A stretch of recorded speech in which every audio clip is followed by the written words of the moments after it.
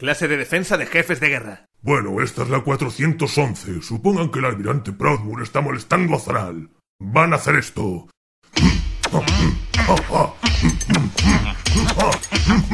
¡Libera a la bestia! ¡Por los Natal! ¡Perro sarnoso! ¡Por colmillos y garras!